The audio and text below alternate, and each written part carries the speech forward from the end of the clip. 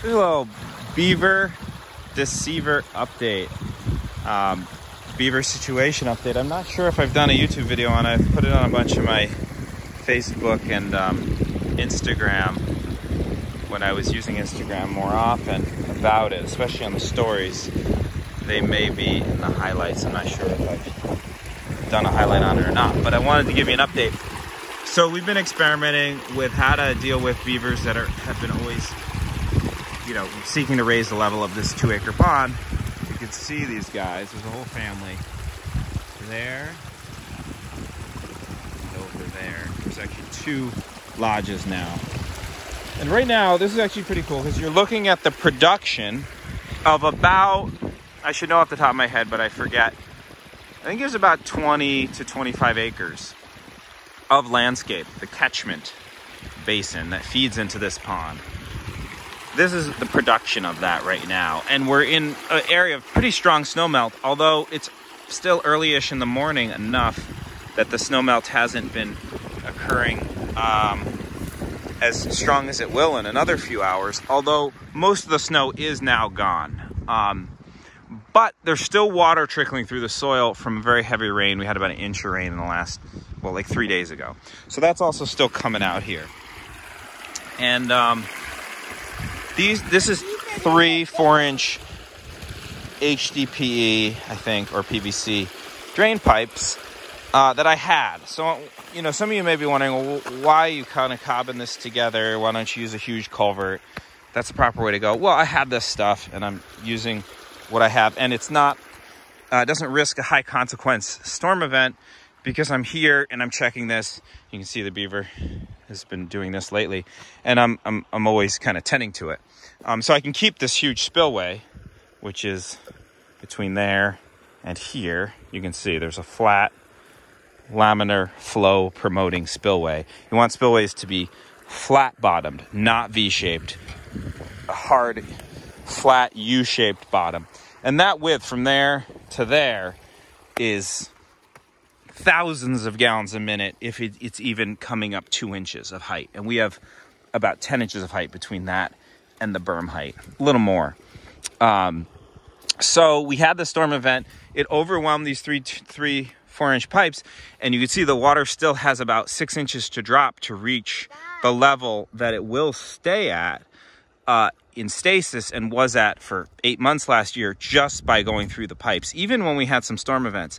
But it's higher than that, so then the beaver realized he could start making some headway, or he or she or we actually think there's a grandma beaver that does a lot of the work.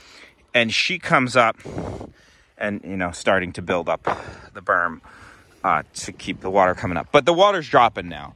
So that berm i'll knock down with a hoe um, so i think what we're learning well the big thing that we've learned is that this unit here as a deceiver is working we're now getting into the year two of it working we did an attempt at this about three to four years ago where we made one of these and the guy who made it, who was doing some work for me, thought he should cover the top, which is unnecessary so far it seems because he hasn't or she hasn't climbed over yet.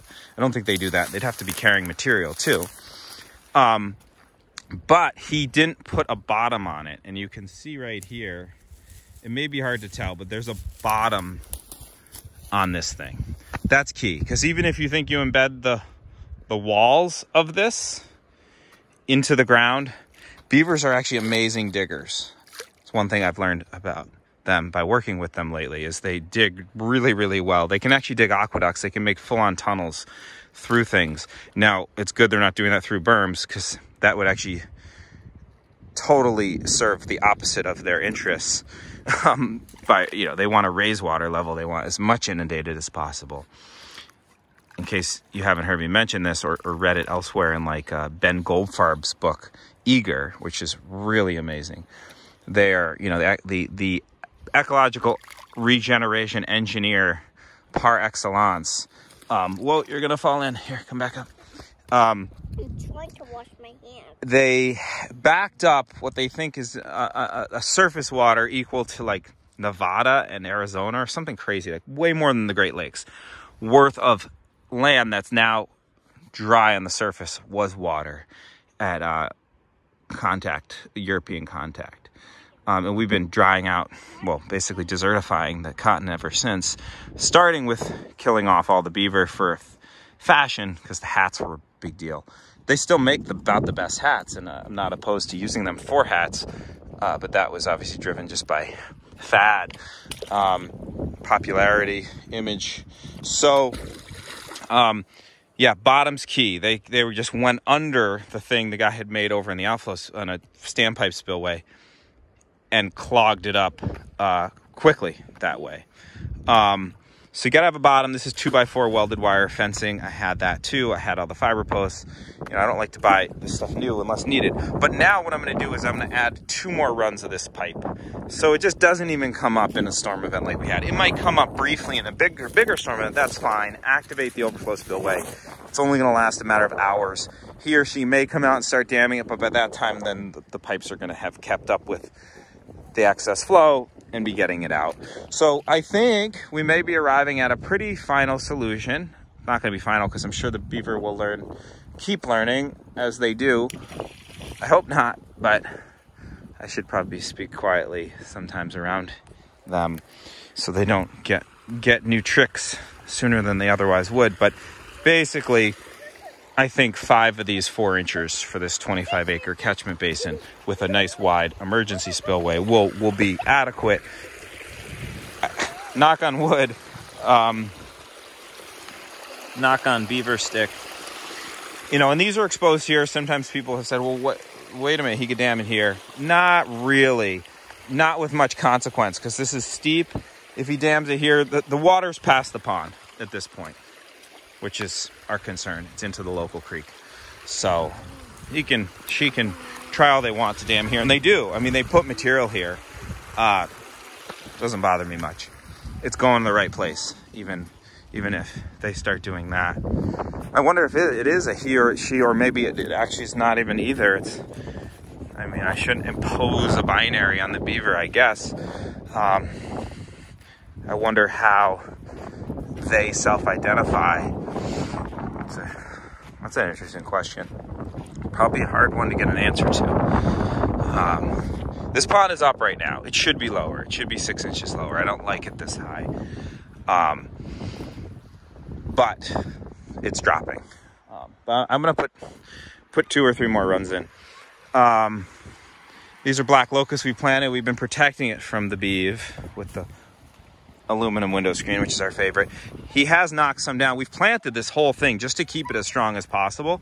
And he's coppicing it all for us, which is great because I wouldn't want the trees to get big because you don't want big trees on a berm because they can blow over and then you've got a big problem if the root ball comes up. Okay, hold on one sec. There's their home, one of their homes. You see, is the beaver out? And and they've got the whole area obviously filled with sticks, which is their winter food under the ice that they eat the bark. Probably another few days will be gone of ice on this. Mom, uh, so anyway, I hope everyone's doing well. Yeah, hold on, come right over here.